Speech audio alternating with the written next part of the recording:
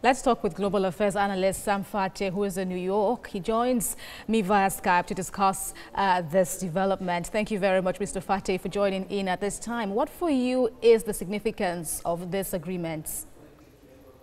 Well, what is important here is how this is going to change the entire Middle East crisis. I mean, it is showing that more and more there is a need for a diplomatic approach that the Palestinian Authority needs to get on board on. Now, of course, the Palestinian Authority will see this as a betrayal for their fight uh, uh, for their own state. However, the Arab nations, other Arab nations like the UAE too, are trying to strengthen their military. They need to build certain kind of relations with the United States. And under the Trump administration, building those relationships comes with certain strings attached.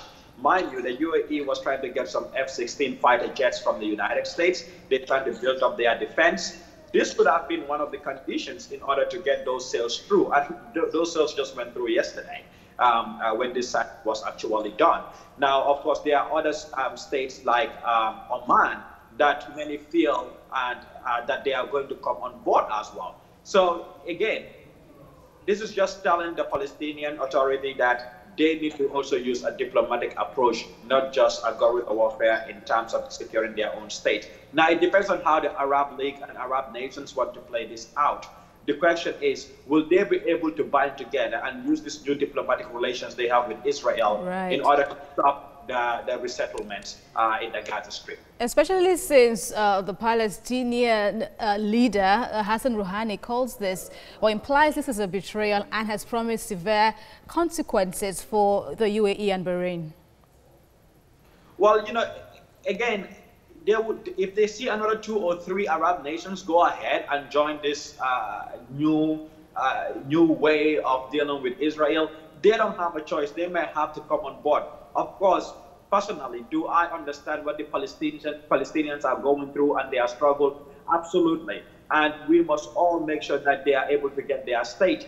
But should they use a diplomatic approach here is going to be the question. And how do they want to use that? They must engage other Arab nations including the UAE. They cannot leave them on the sidelines, including Bahrain or even Oman and Egypt. Egypt was in the forefront of the of, of the war with of the Arab war with Israel in the first place.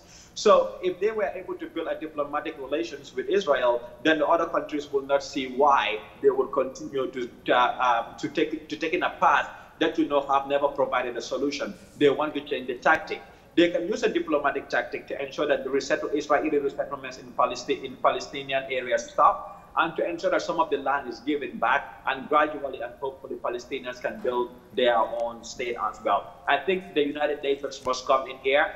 Are they going to achieve where the, the, the UN borders that were set in the 1950s, are they going to achieve that completely? I don't think so. But could they regain back a large chunk of it through diplomatic means? I believe so.